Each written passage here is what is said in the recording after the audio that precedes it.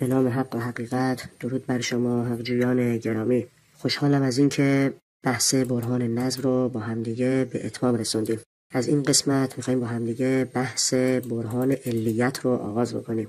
متاسفانه کسانی که خودشون رو فیلسوف و متفکر میلامند و وظیفه اونها اینه که حقیقت جهان هستی رو و باورهای مردم رو برای اون مردم تبیین بکنند به جای اینکه از الفاظ راحت و آسان و قابل درک برای همگان برای این منظور استفاده بکنند از ادبیاتی بسیار سنگین مملو و از اصطلاحات فراوان و غیر قابل درک برای عموم مردم بهره جستند.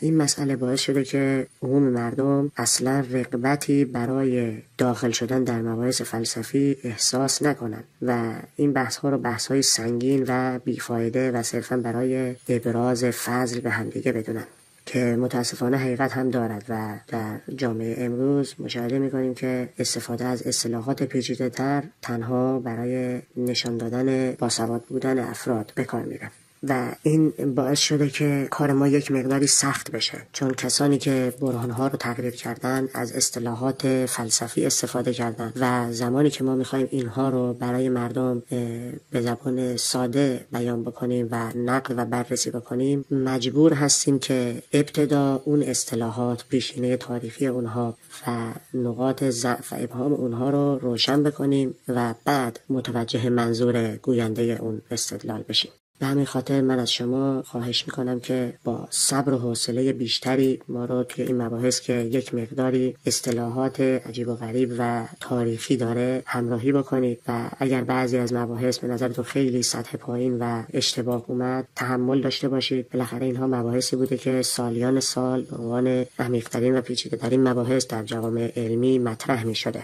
و همکنون هم توسط حکومت کشور ما از رسانه های مختلف چه در کتاب های آموزشی چه در رسانه ها به عنوان ادله و براهین اثبات وجود خدا و عنوان حجت بیان میشه. و ما ناگزیر هستیم که این عبارت ها رو بشناسیم تا بتونیم اونها رو با دقت و با انصاف نقد بکنیم. دوستان عزیز زحمت کشیدن در مدیریت مجموعه در دیسکورد اتاق چت مخصوص این دوره رو فراهم کردند و دوستان و بزرگواران از مخاطبین محترم اگر سوالی نکته ابهامی پیشنهادی انتقادی در مورد مباحث مطرح شده در هر یک از قسمت ها دارن می‌تونن از اون فضا برای ارتباط استفاده کنن مطرح بکنن و ما دیر یا زود بالاخره به اون سوالات و به اون مباحث جواب خواهیم داد. تقاضای من از شما عزیزان اینه که به خاطر اهمیتی که بحث باورها در زندگی ما داره این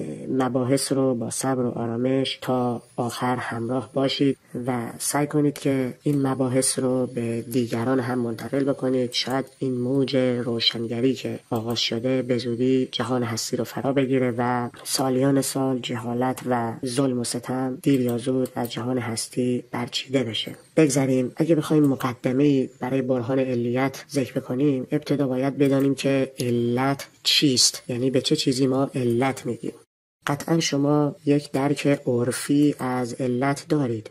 یعنی شما میگید که علت اینکه امروز به محل کار نرفتم این بود که بیمار بودم. شما زمانی که این جمله رو به کار می‌برید و زمانی که کسی این جمله رو به کار می‌بره و شما معنای آن رو می‌فهمید یعنی شما معنای علت رو درک می‌کنید. اما معنای علت رو اگر بخواهیم خداگاه بکنیم واقعا یعنی چی؟ یعنی یک تعریف جامع و مانع. بخوایم برای علت بیان بکنیم که دقیقا بدونیم چی علت هست و چی علت نیست. فرض کنید اگر من مثال رو قدری دشوارتر بکنم پیچیده تر بکنم به عنوان مثال سوال از شما می‌پرسم علت گرانی بنزین چیست؟ این رو چند لحظه خواهش می‌کنم تفکر کنید بعد ادامه بدید. به نظر شما علت گران شدن بنزین چیست؟ ممکنه بعضیا پاسخ بدن که علت آن کسی است که دستور گران شدن بنزین رو صادر کرده. دیگری ممکنه بگه نه تحریم ها باعث گران شدن بنزین شده. دیگری ممکنه بگه مدیریت غلط اقتصاد در جامعه باعث گرانی بنزین شده. یکی ممکنه بیان بکنه که افزایش قیمت بنزین در کشورهای همسایه و قاچاق بیرویه بنزین باعث افزایش قیمت بنزین میشه. و ممکن افراد دیگری علتهای دیگری را بشمارند برای گران شدن بنزین. ولی اگر ما درک صحیحی از علت داشته باشیم نباید پاسخهای ما با همدیگه متفاوت باشه. یا اینکه باید بگیم این پدیده علتهای مختلفی دارد یا اینکه اگر یک علت دارد باید همگی یک پاسخ بدهیم. سوال دیگری از شما می‌پرسم. علت تکان خوردن شاخه های درخت چیست؟ یک پدیده کاملا فیزیکی. ممکنه یکی از شما پیام بکند که وزش باد نیرو وارد می کند به شاخه و شاخه جابجا می شود این مسئله صحیح است ولی آیا می توان علت دیگری را هم برای آن بیان کرد؟ ممکنه کسی بگوید که نرمی شاخه های درخت هم علت آن است. ممکنه کسی دیگری بگوید اینکه شاخه های درخت قیدهای صلبی ندارند که آنها را نگه دارد علت این است که تکان می‌خورد. مشاهده می‌کنید که همه این جملات را ما می‌تونیم استعمال بکنیم. و یا اینکه علت وجود تخم مرغ چیست؟ این هم یک سوالی که بعضا پرسیده میشه. آیا مرغ علت وجود تخم مرغ است؟ یا غذایی که مرغ می‌خورد علت وجود تخم مرغ است؟ یا سن بلوغ رسیدن مرغ که به سن تخم گذاری رسیده باشد علت وجود تخم مرغ است؟ یا شرایط مناسب هوا و فشار و گرما و سرما کدام یکی از اینها علت به وجود آمدن تخم مرغ است؟ اگر به کتاب ها مراجعه بفرمایید مشاهده می کنید که مبحث علیت چندین و چند کتاب مفصل بحث و گفتگو می شود و بسیار تعریف ها و تقسیم های مختلف مباحث مختلف و به نظر من همه این مطالب مطالب زائد و بیفایده است اگر ما بخواهیم ماحصل مطالبی رو که در باب علت ذکر می کند در یک جمله برای شما پیام بکنیم علت چیزی است که اگر نباشد معلول هم وجود نخواهد داشت. یک بار دیگه اگر پیام بکنم. اگر الف نباشد ب نتواند باشد آنگاه می‌گوییم الف علت ب است.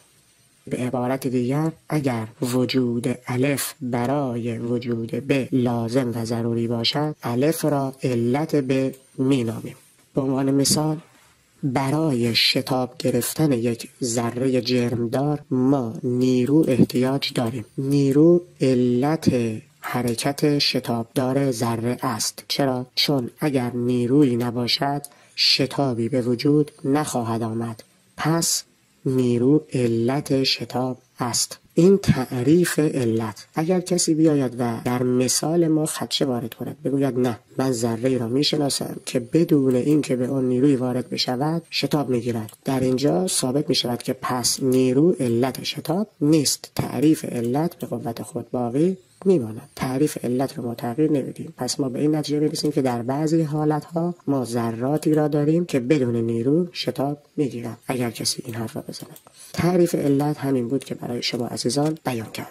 اجازه بدید که من یک سوالی رو از شما عزیزان بپرسم.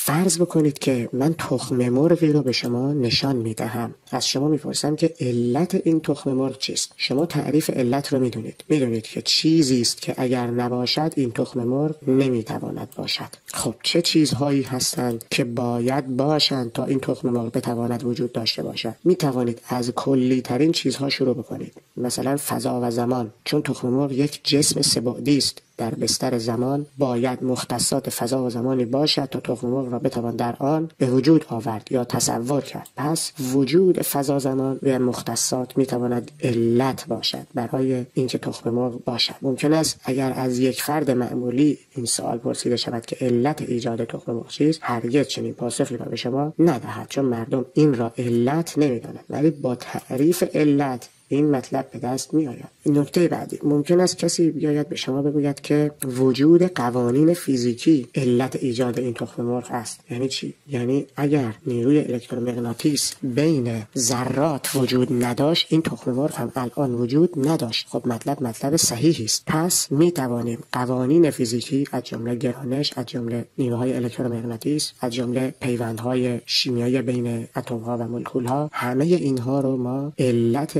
وجود آمدن این تخم مرغ بدانیم با این تعریفی که بحث شد. نکته دیگه ممکنه کسی بیاد به شما این مطلب رو بگه که اینکه مرغی باید وجود داشته باشد که تخم باشد. غذا باید خورده باشد. به سن بلوغ رسیده باشد. شرایط دما و فشار هوا مساعد باشد. بیمار نباشد و ژنتیک مناسب برای تخمگذاری را داشته باشد. تمام اینها می‌تواند علتهای ایجاد تخم مرغ شمرده شود. بسیار خوب. سوال من از شما عزیزان اینه. آیا اگر مرغ نباشد تخم مرغی وجود نخواهد داشت؟ به این سوال خوب دقت بکنید. در نگاه اول ممکنه شما پاسخ بدید که نه تخم مرغ فقط توسط مرغ تولید می شود فرض کنید در جامعه ای مدرنتر و پیشرفته تر ما بتوانیم پرینترهای سبودی طراحی بکنیم و بسازیم که این پرینترها بتوانند اتم های یک جسم رو دانه دانه کنار هم قرار بدن و یک جسم رو برای ما بسازن. درسته که کار بسیار دشوار و غیر قابل توجیه از لحاظ اقتصادی است ولی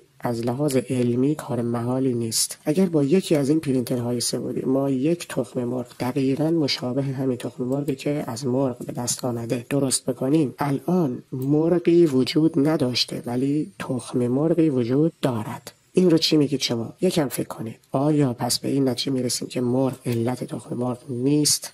یا اینکه می‌خواهید بگید که این چیزی که الان ما داریم تخم مرغ نیست چیزی شبیه تخم مرغ؟ خواهش می‌کنم به این سوال کمی فکر بکنید. ما در قسمت های بعد در بحث تناسب علت و معلول به این مثال برمیگردیم. ولی فعلا اگر بخوام یک جواب مختصر به شما بدم ما تعریف علت رو دستکاری نمی کنیم اگر بپذیریم که این چیزی که دست ماست الان و توسط پرینتر ساخته شده دقیقا خود تخم مرغ است. به این نتیجه می‌رسیم که مرغ علت تخم مرغ نیست. چون علت چیزی بود که اگر نباشد آن چیز به وجود نیاید و الان ما می‌بینیم که مرغی نیست ولی تخم مرغی به وجود آمد. یا اینکه میپذیریم که مرغ علت تخم مرغ هست ولی میگیم این چیزی که در دستان ما است این تخم مرغ نیست. چیزی است بسیار شبیه تخم مرغ. یک نمونه شبیه سازی شده از روی تخم مرغ است و تخم مرغ نیست. یعنی معلولی دیگر است و علتی دیگر دارد و تعریف خودمون از علت رو تغییر نمیدیم.